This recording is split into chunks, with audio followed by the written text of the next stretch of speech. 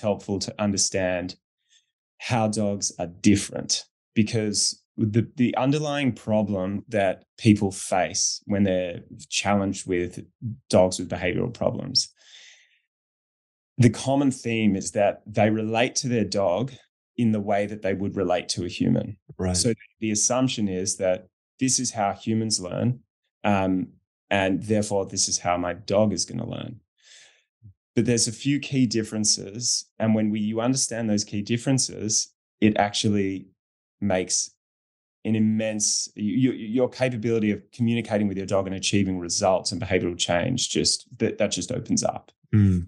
so the first thing is to understand that dogs and humans are actually different animals with different needs and the most i always start my the first session with a client with i talk about dogs or animals and that's important for two reasons um, one is the simple fact that they're not a human and it's unhelpful for you to your dog to view them as a human. Yes, they're a family member, absolutely.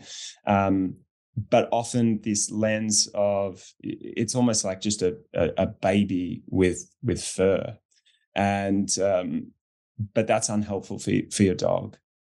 So the the other thing about kind of the the dogs are dogs are animals is that they are beautifully present. Animals are present and in the way that we're all now trying to be. We're all just trying to not focus on the future and not dwell in the past. We're just always trying to be present, trying to be present. You know, there's this like, I feel like there's like a cultural wave of being present, you know. Mhm. So dogs are uh, the most incredible example of like being present. They are, whilst they can predict things and they can remember things, they live in the moment. They are always seeking to benefit themselves in that moment. They're just doing what feels right for them in that moment. And we can shape what feels right for them. We can shape and influence their behavior and their choices. But it's important that we understand our ability to communicate with them about a specific behavior that they're doing exists in the moment that they're doing it or within, depending on the studies, uh, one to 1.4 seconds wow that's a really short window to communicate with your dog or, or an animal. Mm. It's very short. And so when we understand that and we really practice that, all of a sudden, if I, we come home, you know, you come home and your dog's been destructive, people see the destruction and then they look at their dog who happens to be laying in the corner Hmm. and then the dog looks at them and then does this right? Their dog like avoids confrontation. And then the human interpretation is guilty. You know exactly what you've done. You don't normally behave like this and then they go and punish the dog the problem is that's not what's going on for the dog the dog is in the moment right so the dog has destroyed your furniture for whatever reason maybe they're under exercised, under fulfilled, um, you know, or maybe they've got some other, there's some other cause for that. And then you come home and your dog observes you.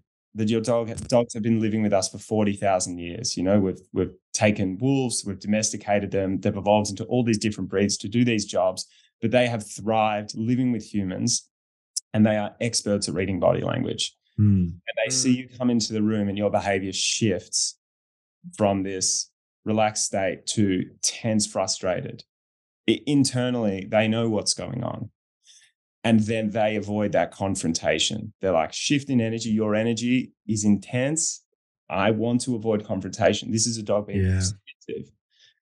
And then we interpret that in a human sense of that's what a guilty person would do. And then we Mm. punish the dog. Now, what are we punishing the dog for? Whatever they're doing in that moment, which is often just Mm. relaxing. That creates confusion, that creates resentment, frustration. It damages the relationship. Mm. So, learning, so that's just one example. That's a great example. Communicate with your dog in the moment and letting everything else go is super important and a great gift that dogs give to you the practice of being present. Like when I'm with my dog and I'm working with my dog, it's like there's nothing else going on. And if I Mm. miss that moment, that's it. I miss the moment to reward it, or I miss the moment to to um, correct the behavior or manage the behavior. It's it's gone. So it's it's a Mm. beautiful beautiful practice.